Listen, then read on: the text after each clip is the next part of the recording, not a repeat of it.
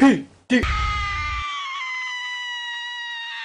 どうも PDR さんです先日ツイッターで DAIGO がトレンドに上がってたので感染しちゃったのかなもしくは北川景子と離婚しちゃったのかなって思う北川景子と離婚したの？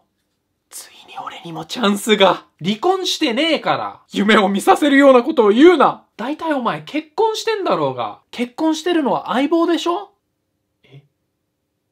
はい。大文字の大悟かと思ったら、メンタリスト大悟さんの方でした。メンタリスト大悟って誰？そうだね。彼の動画まあ PDR さん向けじゃないからあんま見ないけど、見た感じだと、グッドウィル・ハンティングって映画あるじゃん。うん。主人公のウィルから愛嬌と親しみやすさを抜き取ったのが大ゴーさんって言おうと思ってたけど、よく考えてみたら、バーでウィルの友達をバカにしていた大学院生が YouTube チャンネルを始めたら、みたいな感じかな。あー、なるほど。で、その大ゴーさんが、大炎上。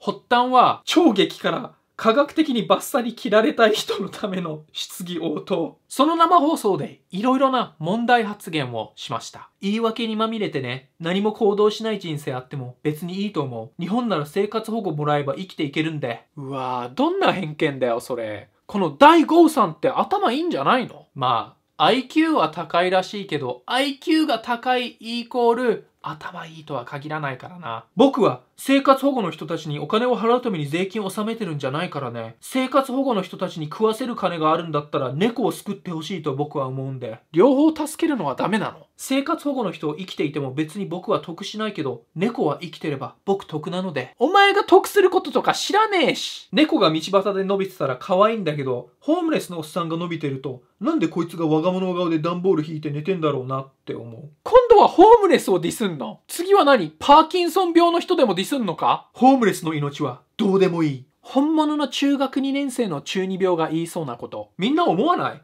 どちらかっていうといない方が良くない？ホームレスって。まあ、ホームレスがいない社会は理想的だけど、色々と無正直邪魔だし、プラスにならないし、臭いし、治安悪くなるしさ、いない方がいいじゃん。だからそんな簡単なもん、犯罪者を殺すのと同じですよ。ああ、ホームレス問題を解決したいんじゃなくて、ホームレスに死んでほしいのか。でおい犯罪者が社会の中にいると問題だし、みんなに害があるでしょだから殺すんですよ。はい、同じですよ。凶悪殺人犯が社会の中にいるのと、ホームレスがその辺で寝てるのって一緒じゃねえだろこいつバカなのそれともこれ炎上商法？まあまあ、世の中にはいろんな変わった意見を持つ人がいるじゃん。Saint Anger がいいアルバムだと思ってる人。グリーンピースが美味しいと思ってる人。そして、ホームレスは死んだ方がいいと思ってる人。一つだけレベル違いに変わってるだろう、それ。てか、何してんの？大ゴーさんの真似。この炎上を受けもうやめよう。この炎上を受け、大悟さんは謝罪？ツイッターで開き直ってから1回目の謝罪。最初の謝罪はちょっとルーズな感じで、申し訳ありませんでした。自分の知識不足や無知さが招いたことです。ホームレスの人は死んだ方がいい。生活保護を受けてる人は言い訳まみれの何も行動しない人生を送ってる。知識もクソもないだろホームレスの人や生活保護の人がどんな苦しい思いをして、なぜそこから抜け出せないのかを、その道のプロと話したり、実際に現場に行ってホームレスの人や生活保護の人と話して知識をつけたいと思います。そうすれば考え方が変わるかもしれません。勉強しようとする姿勢はいいと思うんだけど、そこまでしないと理解できないっていうのがちょっと怖い。大ガウさん、もしホームレスについて勉強したいのであれば、ホームレス中学生という本がおすすめです。相棒、今真面目な話してたのになんだよ、それ。だってどうせこのこと数週間したらみんな忘れて、大ガウ氏は何事もなかったかのように生放送や、衝撃1歳の時の〇〇で収入は決まっている。セックス頻度が倍増する守護い習慣。続きは D ラボで、みたいな動画を出して中高生の信者を喜ばせるんだろまた炎上するまではね。相棒はいつからこんなシニカルじじいになってしまったんだよ。生まれた時から。そうだった。で、1回目の謝罪って言ってたから2回目の謝罪もあるんでしょ？おう、昨日の謝罪を撤回いたします。改めて謝罪。収益は全部寄付するそうです。2回目の謝罪ではよくある、から始まり、前回の動画と違ってスーツを着て、しかも本棚の前に立ってるんじゃなくて、白い壁をバックに謝罪。謝罪動画ビンゴっていうものが存在してるのであればもうみんなビンゴ。申し訳ありませんでした。前回の謝罪動画出してから生活保護を受けてる人やその家族と話したり、生活保護を受けてる人のブログを読んだり、理解を深めました。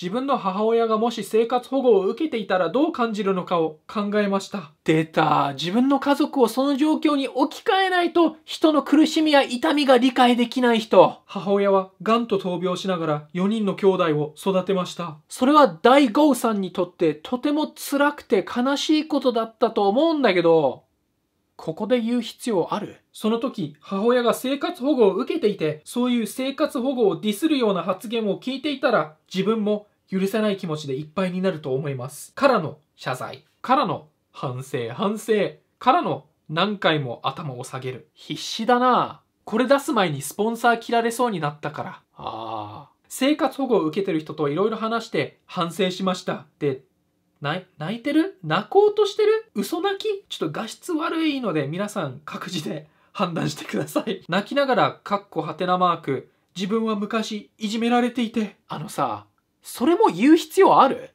かつて自分をいじめてた人たちと同じ言葉を自分が言ってしまった。自分と同じ考えの人が一人でも減らせれば、そして電話がなんか鳴ってて何言ってるかよく聞こえない。しながら、えー今後はそういった風にですね、そして泣きながら、かっこはてなマーク。母親が生きていたら、この炎上についてどう思うだろう。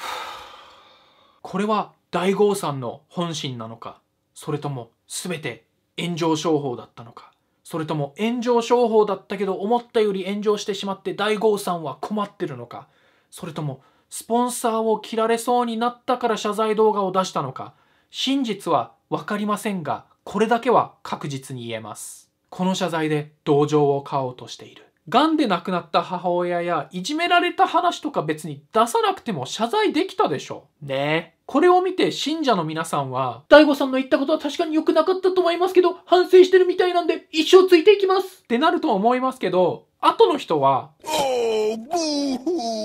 Let me play a sad song for you on the world's smallest violin. ですね。続きまして、この炎上が生み出した面白いこと。まず、謝罪ライブのチャットにあったコメントです。これはエンターテインメントですか？シンプルだけど面白い。そしてなんかのワイドショーに出演した大豪さんの友達の古市氏。いやー、メンタル弱いんですよ、大豪は。本当にいつも落ち込んでいて。と言ったところ、MC の東野さんに、Shut up, bitch! と言われる。ざまあ、第5さん、二つの特大ブーメラン。IQ が低い人ほど差別的な発言をするよってことが分かってて、と、情報を促す最終手段。それは、泣き落とし、相手に罪悪感を生み、やがて情報を引き出させる。ポイントは、相手の予想を上回るように、少しオーバーに泣く。見事な伏線回収だね。そして、元テレビ記者のこの勘違いツイート。この国はどうなってるんだ？タレントの大豪氏が自分にとって必要ない命は軽い。生活保護やホームレスの命はどうでもいいと動画サイトで250万人が登録しているそうだが、鵜呑みにしないでほしいです。自分とは関係ない人と思うのだろうが、生活困窮に陥る背景も知らずに、総理の孫がこれかハッシュタグ、大豪。30秒ぐらい調べればわかることなのに恥ずかしいなしかも元テレビ記者とか。てか、リアル大悟かわいそうじゃね？ねえ。あ、でも、北川景子と結婚してるから全然かわいそうじゃない。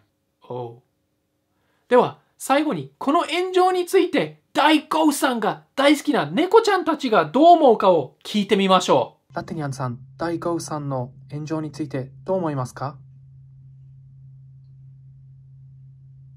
シナモンさんは、大悟の炎上についてどう思いますか？Well, I think he's a little insecure baby with a big ego. ね、なんでシナモン英語なの？スコットランド出身だから。